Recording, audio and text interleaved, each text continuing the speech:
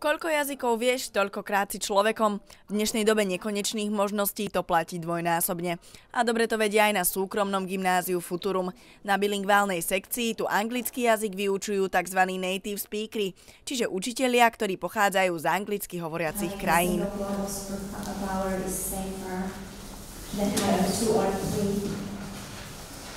To, ako vyzerá takáto vyučovacia hodina, si sa mohli prísť vyskúšať 8 a 9 zo základných škôl, a to počas dní otvorenej výučby. My sme aj v minulosti e, vytvárali takýto priestor každoročne pre žiakov zo základných škôl, aby sa mohli prísť pozrieť na naše vyučovacie hodiny, aby si to vyskúšali, ako sa hovorí, na vlastnej koži, aby mohli ten vyučovací proces vidieť, ako u nás učia jednak tí zahraniční lektori, ale aj bežní učitelia, či už sú to hodiny cudzieho jazyka, alebo aj iné predmety.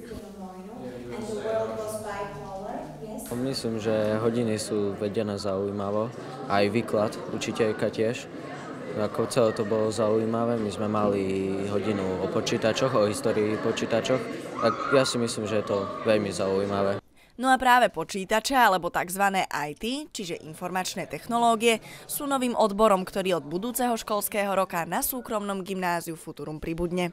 Roman Klinčík z jednej z najdôležitejších IT firiem v Košiciach Global Logic nám prezradil, prečo je dôležité, aby sa študenti začínali venovať IT už na stredných školách láska k tomu odvetviu, alebo to, prečo ma to baví, vzniká práve teraz, keď človek končí druhý stupeň základnej školy a nastupuje na strednú školu. Tamto vzniká to, či ma moja práca v budúcnosti bude alebo nebude baviť.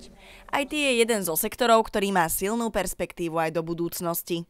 IT je práve to odvetvie, kde má človek možnosť sa realizovať, kde pracuje na špičke technológií z dneška či už sú to autonómne autá alebo inteligentné systémy, ktoré zachraňujú životy. No a čo od budúcich zamestnancov vyžaduje líder v informačných technológiách?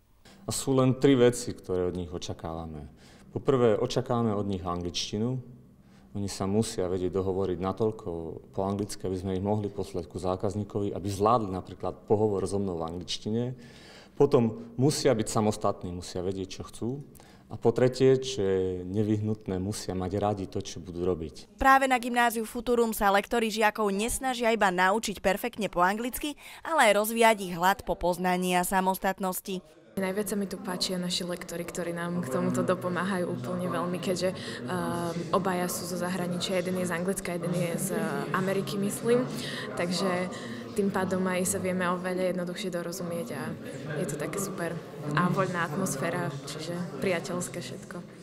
No a ku kvalite výučby dopomáha aj fakt, že v jednej triede je približne 15 žiakov a tak má pedagóg možnosť sa venovať každému jednotlivo. Príjímacie talentové skúšky na bilingválne gymnázium sa uskutočnia 27. marca.